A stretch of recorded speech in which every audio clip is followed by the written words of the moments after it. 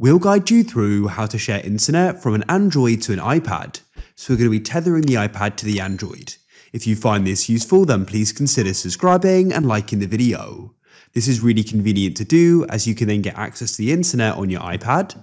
To get started though, we need to come onto the Android.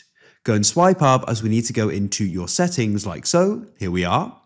What you need to do is go and find the option for connections. In connections, you need to come down and find mobile hotspot and tethering and tap there. At the top, we've got mobile hotspot, which we can then go and tap on. What you can do is go and switch it on at the top.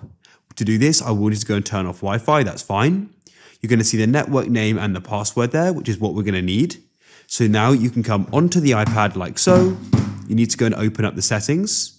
Go to the left and select Wi-Fi, and it should then go and appear in networks. As you can see, Samsung Galaxy, I'll tap there. And then what you need to do is go and enter in the password. The password is given to you there. Let me type it in. I've entered in the password and I'm now connected. If you found this useful, then leave a like for more. Thank you for watching.